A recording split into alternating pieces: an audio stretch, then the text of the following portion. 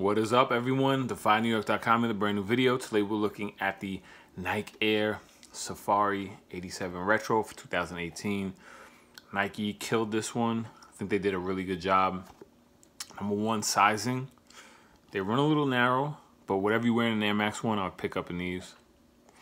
Um, as far as comfort, these are comfortable. They are a little narrow right in here, but they start to loosen up over wear.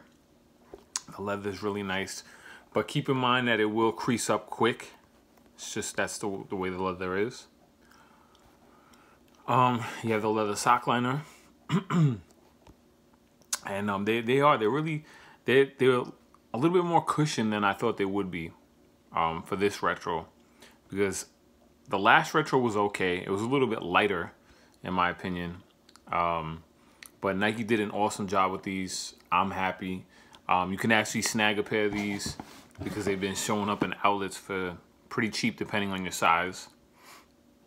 But I don't know how much longer that's going to last, so keep that in mind because you know once these are gone, the prices are going to climb. That And that's a fact. Once these are gone, they, the prices will climb. And it's been a long time since they last dropped the retro of these, so I wouldn't, if you like the shoe, I wouldn't hesitate. It goes with a lot of stuff, depend, you know, a lot of people may look at the shoe and be like, oh, it's too busy for me, but it's really not. It goes with a lot of a lot of things. So overall, Nike did just a, a, an amazing job on these, and definitely one of the best releases of 2018. And the next part of the video, I'm going to show you guys what they look like on feet.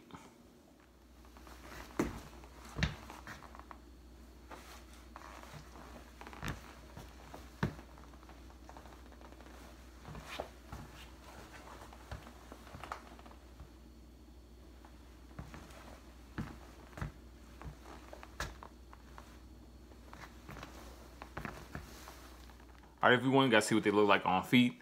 Um, if you have any questions, concerns, comments, please feel free to drop me a line. Definitely now's the time to pick these up. They're pretty cheap on um, eBay. And if you have any questions, uh, you know, once again, hit me up. And uh, that is the video. Thank you for tuning in.